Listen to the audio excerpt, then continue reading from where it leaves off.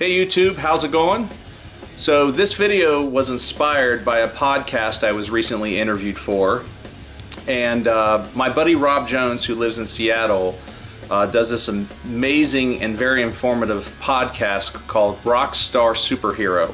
And it can be found at rockstarsuperhero.com. Highly, highly recommended. Uh, a lot of good information there, and I was honored when he asked me to uh, be part of this. And Rob is a coaster enthusiast I've known for a few years, and we have uh, a shared hobby of music and a couple other things. And uh, he just wanted to, to, hear my story. And, and during this podcast, we talked about so many different types of things. I mean, sometimes it got emotional. Um, there were some heavy moments at times, uh, some uh, very, very powerful topics. But um, I couldn't be happier um, when I listened to it this morning. And it's actually uh, podcast number 14 if you're interested in, in, checking out please please please do because it's uh, a lot of good stuff there and uh, Rob's a great great great guy and I'll put some links in the description below so you can find it a little bit easier and uh, just go check it out. It's it would be awesome if you did and if you want to learn more about me and more, learn more about Rob and what he is doing that's the perfect way to uh, to find out about us. So um, good stuff so one of the topics that Rob and I were talking about was music, and we both are big rock and metal fans. And one of the bands that's easily, it's probably, actually it's my favorite band in the world, and that's the band King's X. I've been a fan of them since 1990. I've seen them probably over 20 times. And Rob is fortunate enough to be in a band that actually got to open for King's X back in the day, so I'm extremely jealous about that. So, but great job, Rob. So it, after doing the podcast, it got me uh, thinking that you know I, would be kind of fun to tell a, a King's X story. Now, um, King's X is a band that a lot of musicians, a lot of rock musicians, a lot of metal musicians kind of look up to. They didn't really uh, break the mainstream, so to speak, but uh, the, the people they've touched, including myself, as far as their music goes, is uh, unmatched. They're just they're they're very very important band in the rock history.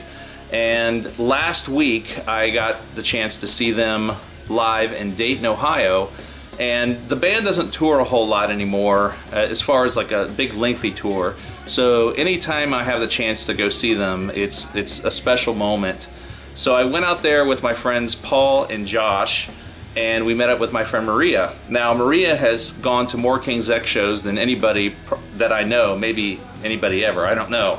Um, I actually got to meet her at a Pantera show back in 92 or 93, and we've been really, really good friends since. So uh, she went to the show, we met up with her and Dayton, and um, just had a great, great time at the show. The, the, the band was performing excellent as always. And after the show, we went um, to the merch table where they were sitting, and you know, you can get autographs signed and get your picture taken with them. So uh, the whole group I was with, we ended up doing that and just getting to talk with the band for a little bit, and really, really cool moment. But there's one particular moment that really stands out for me in my history with King's X, and that is a few years ago I was down in Houston for work with the Eyes of Freedom. Just by chance, King's X was playing in Houston one of the nights that I was there. So I ended up going to the show, having an amazing time. But before the show, uh, Maria took me into the venue and introduced me to Doug. He was looking to go get some dinner.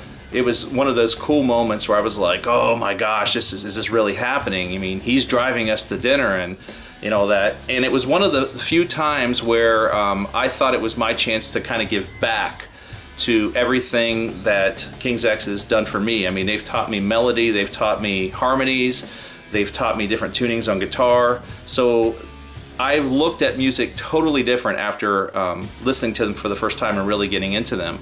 So I was able to actually buy Doug his dinner that night, which, you know, it wasn't a lot of money, but it was my way of kind of giving back and saying thank you for all the years of, uh, you know, not only getting me through maybe some tough times, but inspiring me to create uh, musically and just open up a whole new world for me. So that was a really, really special moment, and uh, I, I won't forget it. So seeing them in Dayton last week uh, just brought back a lot of memories of all the shows I've been to see that band. Um, if you have not checked them out, what are you waiting for?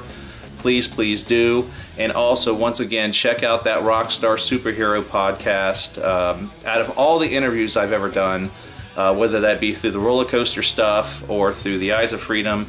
This was the most fun I've ever had in an interview. Um, it was a two, over two hours long, but it just flew by. So if you have some extra time, if you have a lengthy drive, and you want something to listen to, fire up uh, Rob's podcast because uh, I don't think you'll be disappointed because I know I'm not.